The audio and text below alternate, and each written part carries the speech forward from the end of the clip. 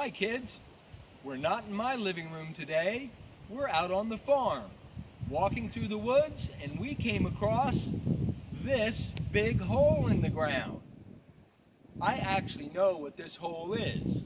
This hole is going to be the basement for a house our friends Tad and Cora are building here on the farm. My question is, how did this hole get here? I think it might be Mike Mulligan and his steam shovel, Mary Ann. I think they were here and dug this hole for Tad and Cora's basement. I think we should go back to my living room and see how this hole might have got here.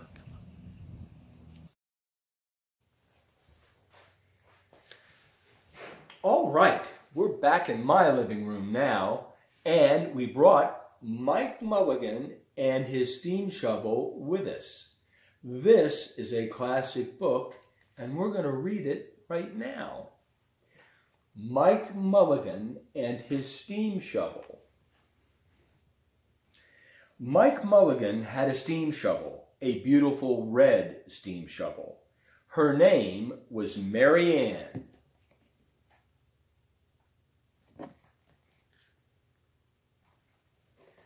Mike Mulligan and Mary Ann had been digging together for years. It was Mike Mulligan and Mary Ann and some others who dug the great canals for the big boats to sail through. So this was once land, and Mary Ann and Mike Mulligan dug that canal.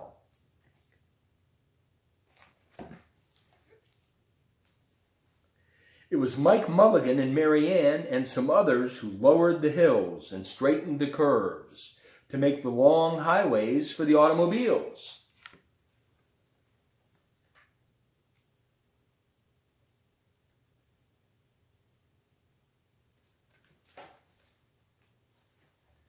And it was Mike Mulligan and Mary Ann and some others who dug the deep holes for the cellars of the tall skyscrapers in the big cities.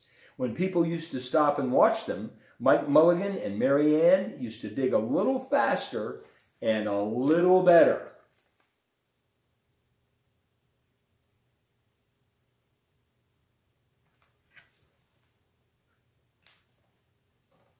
Then along came the new gasoline shovels and the new electric shovels and the new diesel motor shovels and took all the jobs away from the steam shovels. Mike Mulligan and Mary Ann were very sad. Got diesel shovels and gasoline shovels, and no one wanted to hire the old-fashioned steam shovel. No steam shovels wanted. Very sad. All the other steam shovels were being sold for junk, but Mike loved Mary Ann. He couldn't do that to her. Then one day, Mike read in a newspaper that the town of Popperville was going to build a new town hall. We are going to dig that cellar of that town hall, said Mike to Mary Ann, and off they started. All the other steam shovels were being sent away to the junk heap.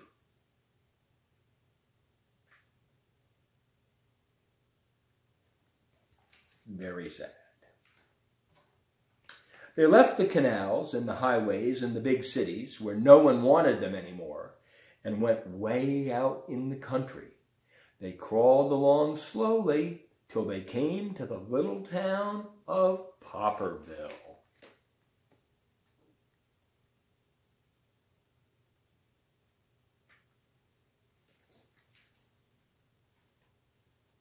When they got there, Mike Mulligan spoke to Henry B. Swap, one of the selectmen. I heard, he said, that you are going to build a new town hall. Mary Ann and I will dig the cellar for you in just one day.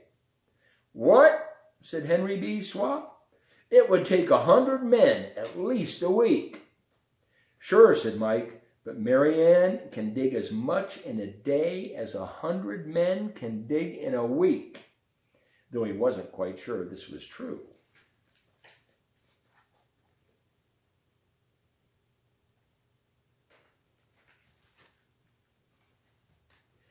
They started in early the next morning.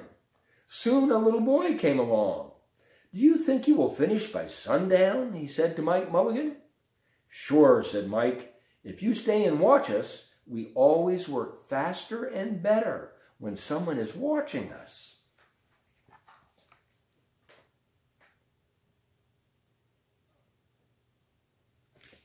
They're getting ready to dig. Then Mrs. McGillicuddy, Henry B. Swap, and the town constable came over to see what was happening, and they stayed to watch. Mike Mulligan and Mary Ann dug a little faster and a little better. So here comes Mrs. McGillicuddy, Henry Swap, and the constable. And as soon as they start watching, Mary Ann and Mike Mulligan work harder and faster and better. This gave the little boy a good idea. He ran off and told all his friends in town. And they stopped and stayed to watch. That made Mike Mulligan and Mary Ann dig a little faster and a little better.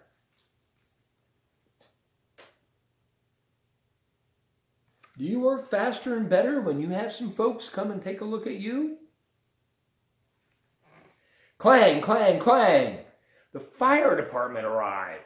They had seen the smoke and thought there was a fire. Then the little boy said, Why don't you stay and watch? When they heard the fire engine, the children in the school across the street couldn't keep their eyes on their lessons. The teacher called out a long recess, and the whole school came out to watch.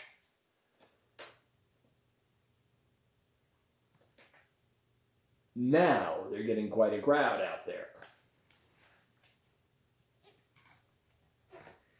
Now, the girl who answers the telephone called up the next towns and told them what was happening in Popperville.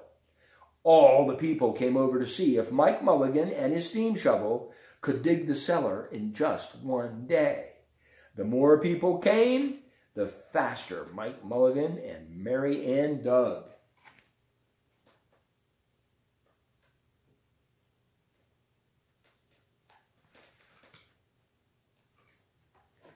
Never had Mike Mulligan and Mary Ann had so many people to watch them. Never had they dug so fast and so well. And never had the sun seemed to go down so fast. Dirt was flying everywhere, and the smoke and the steam were so thick that the people could hardly see anything. But listen, bang, bang, crash, slam, louder and louder, faster and faster. Look at Mary Ann go. Woo! She got a smile on her face, too. If the steam shovel had a face. Then suddenly it was quiet.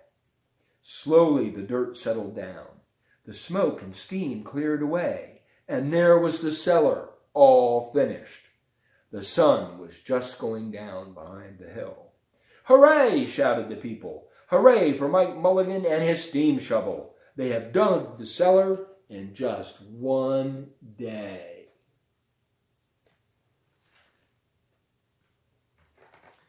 Suddenly, the little boy said, How are they going to get out?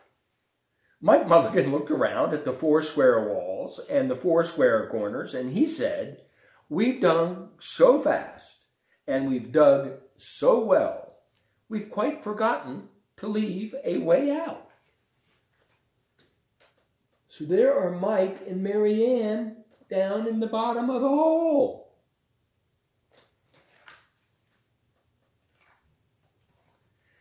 Nothing like this had ever happened before in Popperville. Everybody started talking at once, and everybody had a different idea, and everybody thought his idea was the best. Now, the little boy had another good idea. Why couldn't we leave Mary Ann in the cellar and build the new tall town hall above her? Let her be the furnace for the new town hall, and let Mike Mulligan be the janitor. Everybody's trying to figure this one out. the little boy came up with an idea. Why not? said all the people. So they found the ladder and they climbed down into the cellar to ask Mike Mulligan and Mary Ann. Why not? said Mike Mulligan.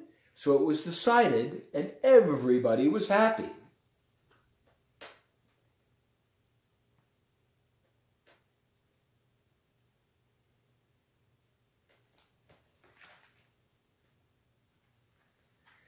They built the new town hall right over Mike Mulligan and Mary Ann. It was finished before winter. Now, when you go to Popperville, be sure to go down in the cellar of the new town hall. So Mike and Mary Ann are down there in the basement while they're building the whole town hall right over them. Let's see. There they'll be. Mike Mulligan and Mary Ann, Mike in his rocking chair and Mary Ann beside him warming up the meetings in the new town hall. What a great ending to the story. It was time for the steam shovels to be retired, so they took Mary Ann's steam engine and turned her into a furnace to heat up the water for the radiators. And now she and Mike Mulligan are living happily ever after. And remember when I said this book was a classic? What does a classic mean? Well, a classic is a book that's so good that people read it for years and years. And when I got this book for Christmas, I took it into Mrs. Snow's class down at Inwood Primary, and I held it up and said, I got this book for Christmas, Mike Mulligan and his steam shovel. And a little boy named Levi went, the steam shovel's name is Mary Ann. I said, Levi, how did you know that? he said, My mama has this book and she knows the story, and I've read this book many times at my mama's house. And I said, Well, Levi, if that's so, you want to come up here and read this book with me next week? And Levi said, Yes. He said, I'll get that book at my mama's and I'll practice. And Levi came into the class with me the next week, and we read Mike Mulligan and his steam shovel together. And Levi did such a good job that the teacher there that day, who was a substitute, said, I remember that story. And she was older than me. So when you think about a classic book, think about a book that your mama and your papa may have read, or even your great grandma and your great papa might have read. And if they know that story, it's a classic, and you should be sure to read it. And even better, if you read it with them, you'll all have a good time. So keep your eyes open for classic books. Maybe we can find another one to read next time. Bye.